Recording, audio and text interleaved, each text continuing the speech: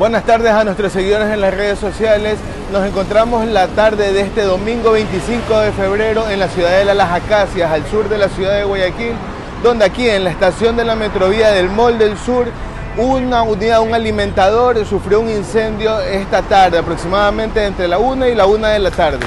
Según el reporte que se ha informado, eh, la unidad estaba llegando eh, cargada de pasajeros a esta estación cuando comenzó a salir humo de la parte posterior del mismo.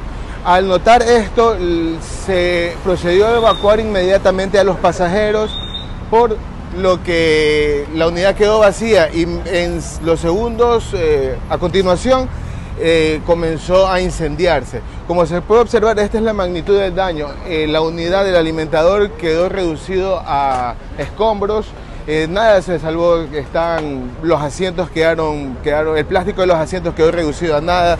Asimismo, el piso del vehículo quedó con huecos a causa de la intensidad de las llamas que, que tuvieron aquí en este vehículo.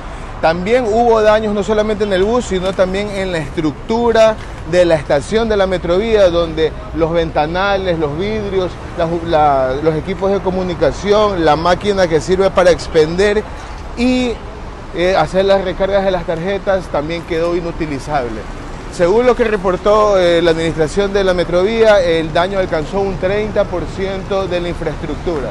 En este momento hay todavía personal de los bomberos y también los propietarios de vehículos que están en el lugar eh, viendo lo que ha quedado del bus y eh, haciendo la, limpieza de los escombros de, este siniestro, de este incendio, de un, de un eh, alimentador aquí en esta estación de Metrovía. Esta es la información que tenemos por ahora para los seguidores de Diario Extra. Para mayor información síganos en nuestras redes sociales y en nuestra página web www.extra.es.